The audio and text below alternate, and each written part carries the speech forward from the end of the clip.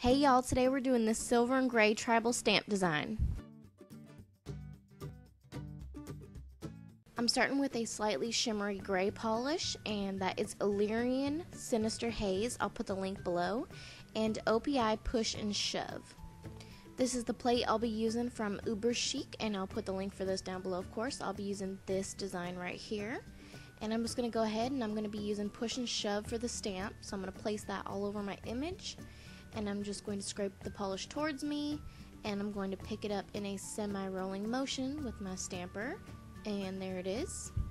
I'm going to line it up next to my nail and I'm just going to press it over my nail.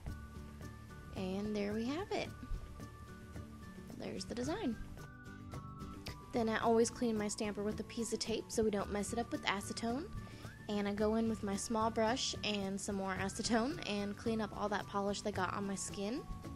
And finish everything off with my favorite top coat. And this is my new favorite, Shine XCEL.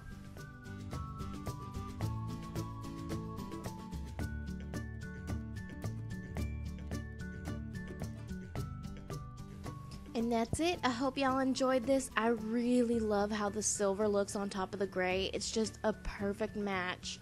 I just really, really enjoyed wearing these. If you get inspired by me, use the hashtag MaagsInspired on Instagram so I can see. And if you like this video, give it a thumbs up. Be sure to hit that subscribe button. Thanks so much for watching, and I'll catch you guys next time. Bye! Hey y'all, today we're doing this holographic water marble stamp design.